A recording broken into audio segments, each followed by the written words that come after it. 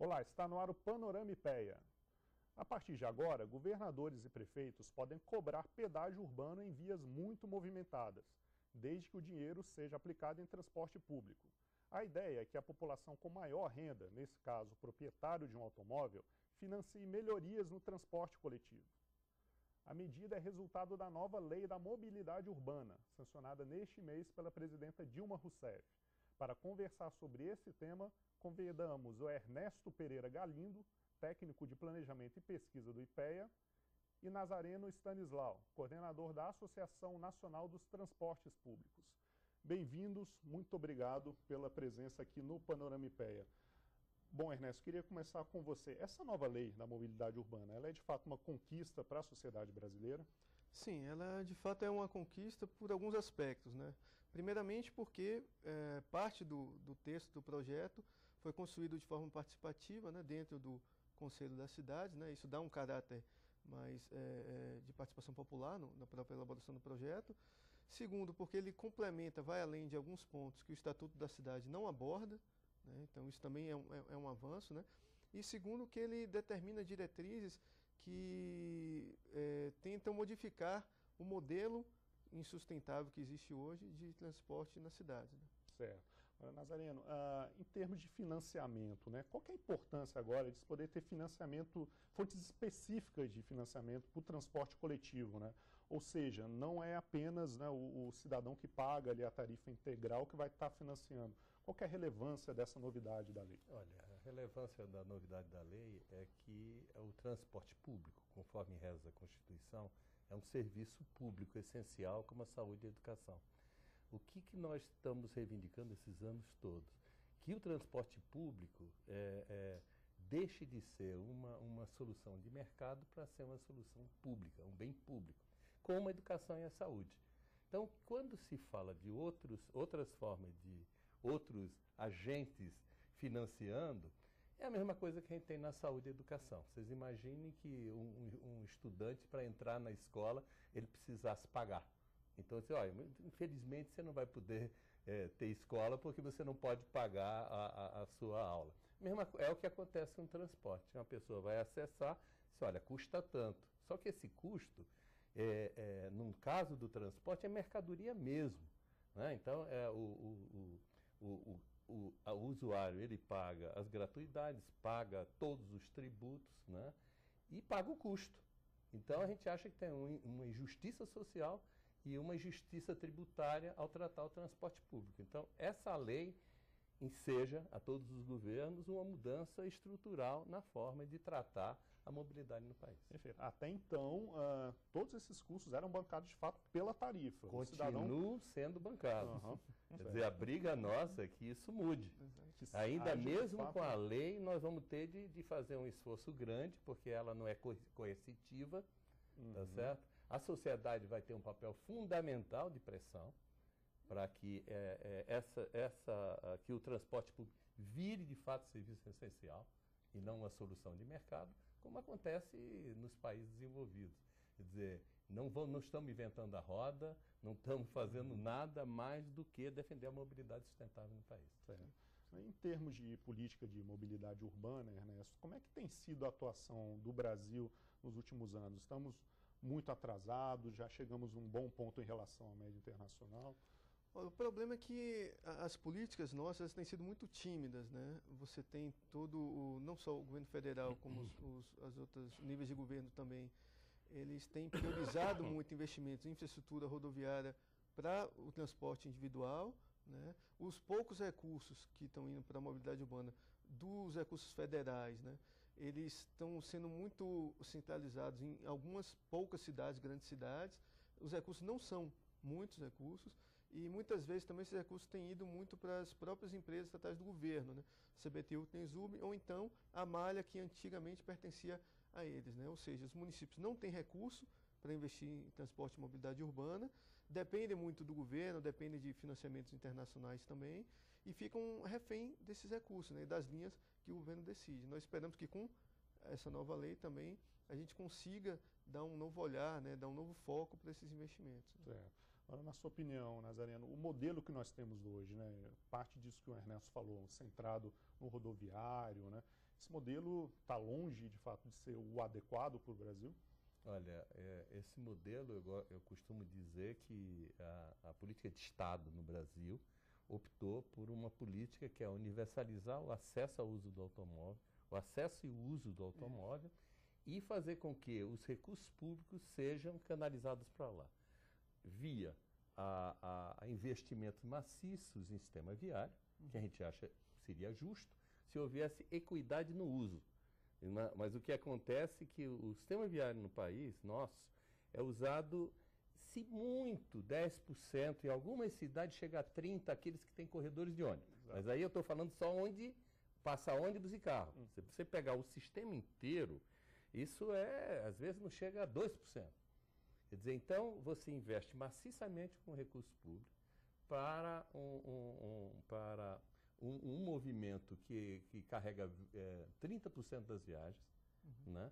É, é, ele é insustentável porque ele, a cada carro que chega, ele exige mais via, mais local de estacionamento, quer dizer, e isso é um volta o custo social de novo.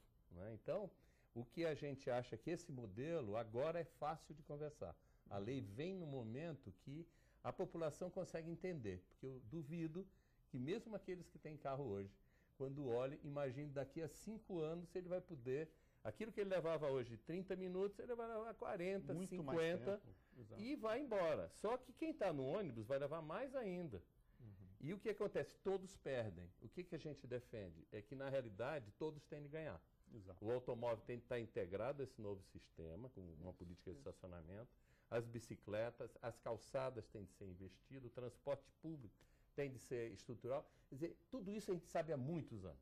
Só que essa outra política dizia, não, não é isso que a gente quer. A gente quer é que cada um tenha seu carro e no, no futuro, é, o Cristóvão Buarque aqui até dizia uma frase que eu guardei muito na época que eu era secretário dele, que ele dizia, se todos em Brasília é, é, tiverem automóvel, ninguém tem automóvel. Exato.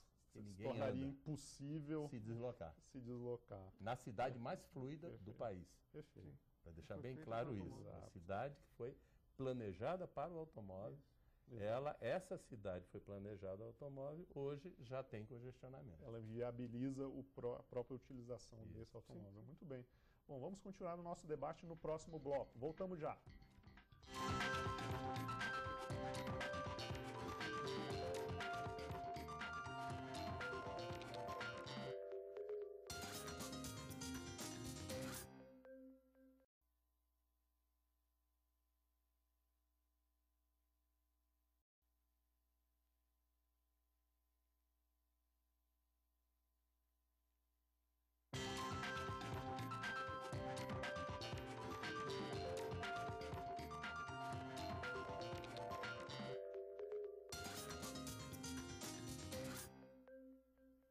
Panorama IPE está de volta com o tema da Política Nacional de Mobilidade Urbana. A nova lei exige que os municípios com população acima de 20 mil habitantes elaborem planos de mobilidade urbana. Antes, essa obrigação era apenas para os municípios com mais de 500 mil habitantes. Bom, Ernesto, que tipo de impacto essa decisão pode tomar? Ah, esses municípios menores, eles estão preparados para elaborar esses planos de mobilidade? Bom, na verdade você tem dois lados aí nessa, nessa questão. Tem um lado, uma preocupação, na verdade, um lado que pode ser negativo, que é um pouco do que aconteceu com o Estatuto das Cidades, que obrigou os municípios acima de 20 mil terem planos diretores de desenvolvimento urbano e que, na verdade, o que houve foi uma correria né, pra, eh, pelas consultorias para elaborar planos diretores que muitas vezes não eram muito adequados, muitas vezes não tiveram, de fato, eh, a participação popular que deveriam ter tido, né? E muitas vezes os planos foram muito homogeneizados, né? foram feitos a toque de caixa e tal, é, nem sempre apropriados pela, pela população de cada um dos municípios. A gente tem uma preocupação de que isso possa acontecer também no caso de mobilidade urbana, porque se para um plano diretor de desenvolvimento urbano já te exige é, técnicos profissionais especializados na área, mais especializado ainda para tratar simplesmente da dimensão de mobilidade urbana dentro de todas as dimensões do desenvolvimento urbano. Né? Então, isso é, um, é, uma preocupação que nós temos. Né? A intenção é boa, né? não deixar simplesmente municípios acima de 500 mil terem planos de, de mobilidade urbana, mas tem essa preocupação. O lado bom é que você traz à tona essa questão da mobilidade urbana, né? para municípios menores. É, se de fato a população abraçar essa causa, nós acreditamos que vai ser um movimento muito, muito bom, muito, é, muito interessante nas cidades, né, que vai poder ajudar a melhorar o desenvolvimento dessas cidades. Agora, evidentemente que tem que ser dada atenção aos aspectos uh, específicos de cada porte de município, de cada característica de município. Né? É. é. bom, uh, outro ponto interessante, Nazarena, em relação a essa participação da população né, no cumprimento da lei, é o fato de que uh, o Código de Defesa do Consumidor também vai poder ser aplicado né, para essa nova lei de mobilidade urbana. Questões como, por exemplo, a presença do, do itinerário né, e do horário da, daquele ônibus, né, daquele veículo, vão ter que estar ali disponíveis né, para o cidadão, o cidadão vai poder reclamar. Isso também é considerado um grande avanço. Né? Só me permite completar um pouco o que ele colocou, que eu acho importante. É, eu acompanhei a questão do, do, dos planos diretores, né, via o, o, Conselho das Cidades. E a, a, minha avaliação é o seguinte: é uma urgência do governo federal, e aí eu acho que cabe ao Ministério da Cidade, uhum. com apoio do IPEA, o que seja, no sentido de capacitação dos municípios. Uhum. Quer dizer, existe três anos para fazer esses planos. Esses planos são perfeitamente viáveis você fazer em seis, oito meses. Sim, né? uhum. Então você tem dois anos de capacitação. Então os municípios, se houver uma agilidade do governo, ele rapidamente se estruturar. Nós temos a nossa associação que já fez vários cursos de capacitação, Quer dizer, existe já uma experiência acumulada no setor. Né? Há como se preparar. Há então, como se preparar para isso. Uhum. Há, há, já há um sistema de informações que a gente tem desenvolvido, que também vai ajudar. Uhum. Quer dizer, eu, eu acho que a gente pode aprender com a do plano diretor, mas aí a gente vai precisar de uma ação forte do governo.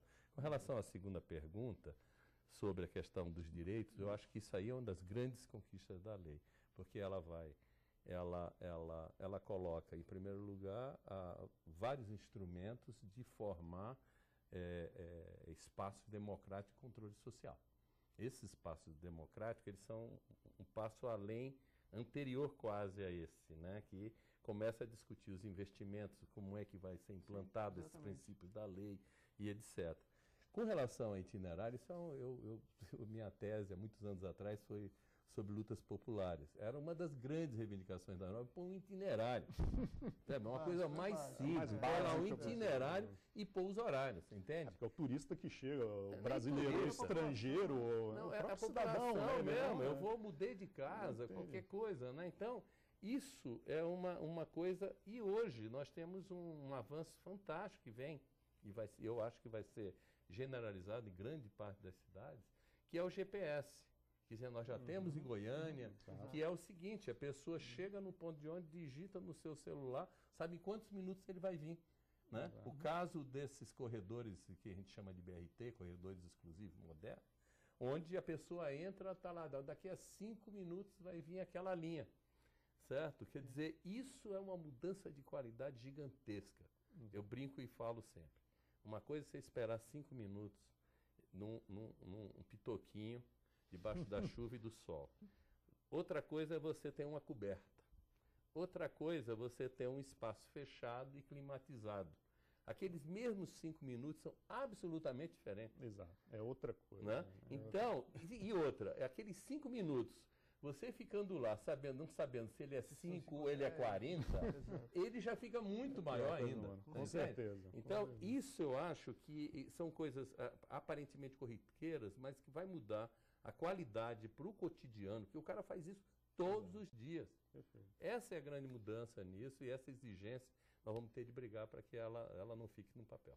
Olha, Ernesto, é, não está muito bem explicado também ainda como é que vai ser esse financiamento, por exemplo, a, das viagens de estudantes e idosos, né? De onde vai sair esse uhum. dinheiro? Isso realmente tá, ficou faltando nessa nova lei de mobilidade urbana? Na verdade, é um pouco do, do início da nossa conversa, né? É, muitos desses pontos que são colocados na lei, eles já eram permitidos, né? A questão é que eles não tinham muito amparo legal, muitas vezes eram derrubados, eh, interpretações eh, da lei eh, impediam que fossem aplicados. Né?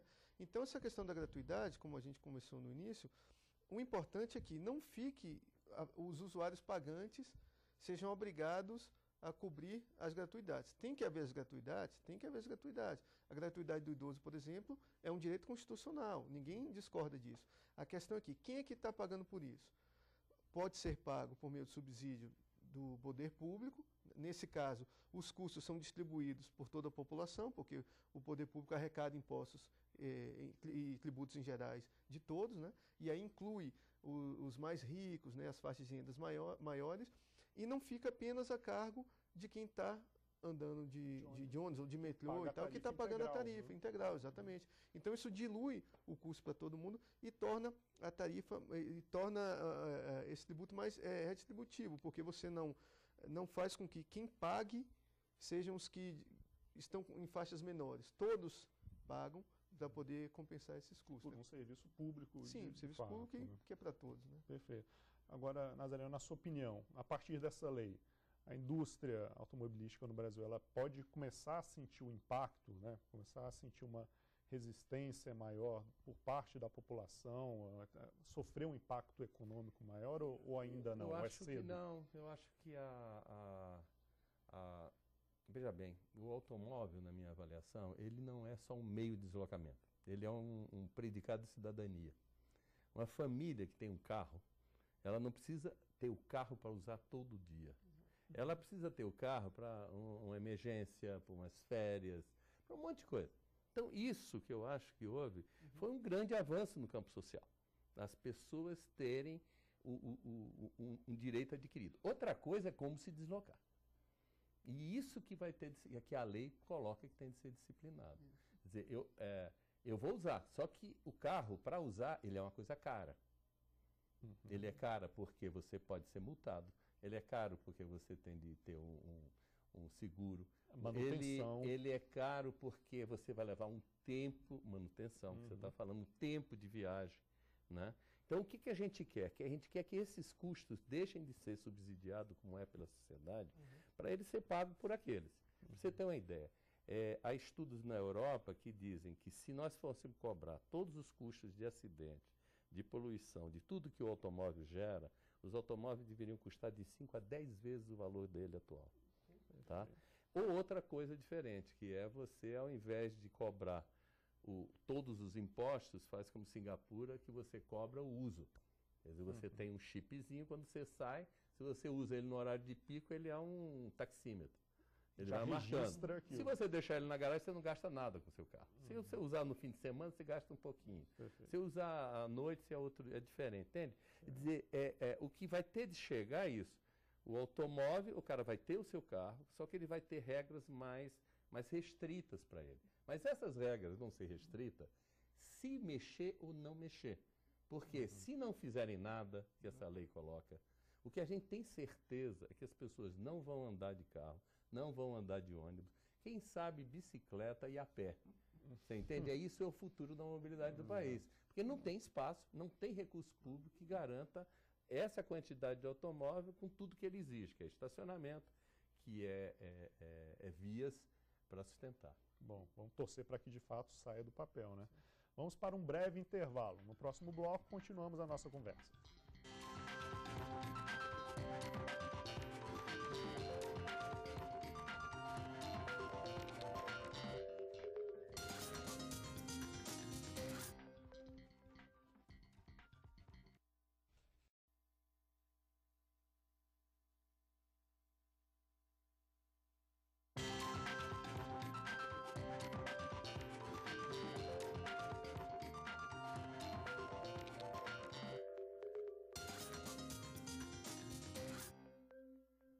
De volta com o debate sobre a nova lei da mobilidade urbana. Bom, o texto não cria nenhuma obrigatoriedade, mas estabelece algumas diretrizes. As cidades que não cumprirem as determinações serão penalizadas, com a suspensão dos repasses federais destinados às políticas de mobilidade urbana. Bom, Nazareno, a gente falava em tirar a lei do papel, né, em colocá-la na prática. Que forma a sociedade pode fazer isso? Ela vai poder, de fato, pressionar prefeitos, eh, vereadores? Como é que deve ser esse diálogo a partir de agora entre sociedade e as autoridades para que a lei seja, de fato, aí, ah, colocada em prática? Olha, em primeiro lugar, eh, eu penso que se o governo aprovou essa lei e colocou, ele tem uma responsabilidade grande da divulgação dela. Ele. Agora, nós da sociedade civil também estamos muito preocupados em fazer isso. Né? Então, eu, é, eu represento aqui a NTP em Brasília e coordeno uma articulação chamada Movimento Nacional pelo Direito ao Transporte. A nossa, a nossa, uma das ideias que nós estamos discutindo é que nós façamos uma grande campanha nacional, campanha publicitária mesmo, para que a população se apropie desses seus direitos, conheça. E, de outro lado, uma capacitação, vai ter a capacitação do governo falando tal, mas vai ter a nossa, onde a gente vai para dentro do movimento social, né? Eu também faço parte do Fórum da Reforma Urbana, que reúne os movimentos sociais e as ONGs que lutam pela reforma urbana. Então, a ideia é que a gente monte alguns mini cursos, algumas coisas, que a pessoa se aproprie disso, a gente difunda isso nas bases da sociedade, para que ela possa ir para dentro. O outro apoio que nós esperamos, que eu acho que, que ainda vamos ter de fazer um esforço grande, é da própria mídia. Eu acho que se a mídia abraçar isso, como está um abraçou aqui em Brasília, por exemplo, o programa de paz no trânsito, reduziu em 50% o número de mortes.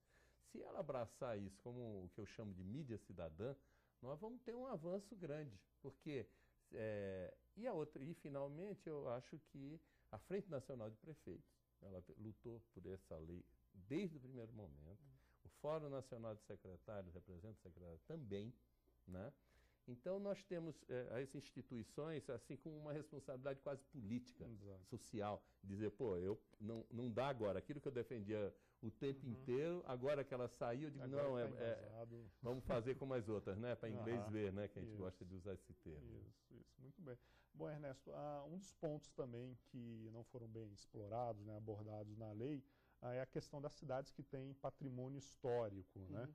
Uh, por que, que isso acabou sendo deixado de lado? É mais complexo, é mais difícil realmente tratar dessa questão? Bom, na verdade, isso, isso é um aspecto, é, isso é algo mais específico né, de, de características de algumas cidades, que nós acreditamos que era importante que tivesse na lei, mas não estando, como é que pode ser trabalhado? Os instrumentos que são previstos na, na lei, eles podem ser utilizados, vários daqueles instrumentos, para atender às especificidades dos centros históricos. Então você tem toda a parte de, de, de, regulação de estacionamento, de restrição de acesso de veículos, de cobrança de pedágio urbano. Você tem uma série de, de, de instrumentos que podem ser utilizados para evitar que se prejudique é, o patrimônio, tanto histórico, cultural, quanto também prejudique a, o próprio patrimônio, patrimônio digamos assim, geral da, da, da, cidade. Porque esses imóveis, esse patrimônio, ele é mais, é, digamos assim, mais frágil do uhum. ponto de vista de, de, de da, das estruturas, né? Isso, então, preservação. De preservação. Então você uhum. tem uma série de instrumentos que podem ser utilizados, ainda que não tenha sido é, feita uma referência direta a esse tipo de, de uhum. característica do, de alguns municípios. Né? Perfeito. A Nazaré mudou também a, o esquema de remuneração pela prestação né, do serviço do transporte coletivo. Enfim, ele deixa de ser né, simplesmente por planilha de custo e agora vai para a licitação mesmo. Né? O que, que muda com essa alteração aí da, da nova lei?